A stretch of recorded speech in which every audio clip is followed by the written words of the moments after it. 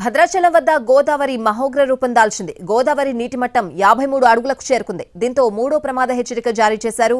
వరద ఉధృతి కొనసాగుతూ ఉండడంతో నీటి మట్టం మరింత పెరిగే అవకాశం ఉంది.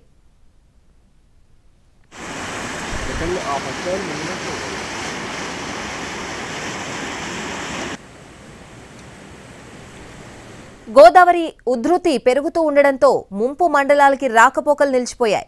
చర్ల వెంకటాపురం వాజేడు ప్రాంతానికి కూడా రవాణా నిలిచిపోయింది. భద్రాచలం దిగువన పినపాక నియోజకవర్గంలోని బూర్గంపాడు మండలం అశ్వాపురం మండలంలో కూడా రోడ్ల మీదకి గోదావరి ప్రవహించడంతో కొన్ని గ్రామాలకు రాకపోకలు నిలిచిపోయాయి.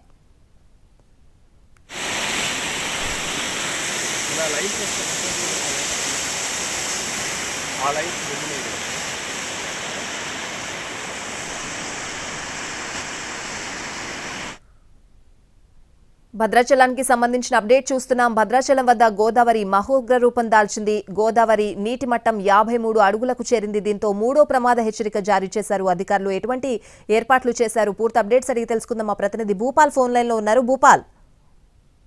స్వాతి భద్రాచలం వద్ద గోదావరి నీటి మట్టం ప్రస్తుతం యాభై మూడు పాయింట్ రెండు అడుగులకు చేరుకుంది. అంటే యాభై మూడు అడుగులు దాటితే మూడవ ప్రమాద హెచ్చరిక జారీ చేస్తారు? ఆ నేపథ్యంలో నాలుగు గంటల పదిహేను నిమిషాలకి మూడవ ప్రమాద హెచ్చరిక అయితే అధికారులు జారీ చేశారు. ఈ నేపథ్యంలో ఇప్పటికే తాలిపేరు పైన తాలిపేరు నుంచి లక్ష కేశకుల నీరు గోదావరి నుంచి కలుస్తుంది. ఎగువ నుంచి కూడా గోదావరిలో ఎక్కువగా కలుస్తున్న పరిస్థితి ఈ నేపథ్యంలో యాభై మూడు అడుగులు దాటి నేపథ్యంలో దాదాపుగా ఒక నలభై గ్రామాల వరకు రాకపోకలకు అంతరాయం ఏర్పడే పరిస్థితి అంటే లిటరల్గా నలభై గ్రామాలకు చుట్టుముట్టే పరిస్థితి ఉంటుంది. అయితే ఇంకో యాంగిల్లో ఆ భద్రాచలం నుంచి అటు చర్ల దుమ్మగూడెం తెలంగాణ ప్రాంతంలోని ప్రాంతాలకి అదేవిధంగా ఆంధ్ర ప్రాంతంలోని కోనవరం వేలేరుపాడు వీటన్నిటి కూడా పూర్తిగా రాకపోకలు అనేది ఇప్పటికే నిలిచిపోయాయి. అదేవిధంగా అశ్వాపురం బోర్గంపాడు మండలాలు కూడా అనేక చుట్టూ గ్రామాలకు కూడా కొంత మేరకు రోడ్ల మీదకి నీళ్ళు వచ్చిన పరిస్థితి దీంతో రాకపోకలకు అంతరం ఏర్పడింది.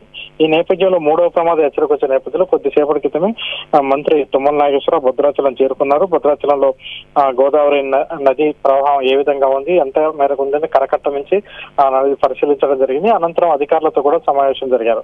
సమావేశం ఏర్పాటు చేశారు. ప్రధానంగా గోదావరి వరద వచ్చిన నేపథ్యంలో ఎటువంటి ప్రాణ నష్టం లేకుండా చూడాలని అదేవిధంగా అంటే నష్ట నష్టం విషయాల్లో పంట నష్టం విషయాల్లో మనం కంట్రోల్ చేయలేము కానీ మిగతా విషయాల్లో ప్రాణ నష్టం లేకుండా చూడాలనేది మంత్రి తుమ్మల నాగేశ్వరరావు ఆదేశాలు జారీ చేసిన పరిస్థితి. అధికారులతో మాట్లాడి పునరావాస కేంద్రాలు అంటే పునరావాస కేంద్రాల్లో ఎటువంటి ఇబ్బంది జరగవద్దు.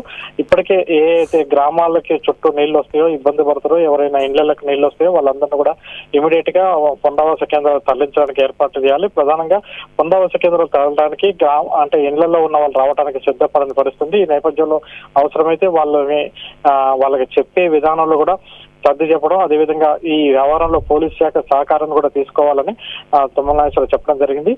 ఆ, ఈ నే- మొన్న మూడు రోజుల క్రితం కూడా ఇదే విధంగా అధికారులతో సమావేశం మా అంటే మంత్రి అప్పుడు పొంగులేటి శ్రీనివాసరెడ్డి చేపట్టడం జరిగింది. అంటే ఇప్పుడున్న ప్రత్యేక పరిస్థితుల్లో మరి ఒకటిన్నర రెండు అడుగుల వరకు ఇంకా గోదావరి రావచ్చని అంచనా వేస్తున్నారు. అంతకంటే దాటి యాభై ఐదు నుంచి యాభై ఎనిమిది అడుగులు వస్తే మాత్రం కొంత ఇబ్బందికరమైన వాతావరణం ఉంటుంది. అయితే దాన్ని కూడా ఎదుర్కోవడానికి. సిద్ధంగా ఉండాలని అధికారులను ఆదేశించారు. మొత్తం మీద ప్రస్తుతం అయితే ఇంకొక అడుగున్నర వచ్చే అవకాశం అయితే కనబడుతుంది. Swathi. Right Bhupal thank you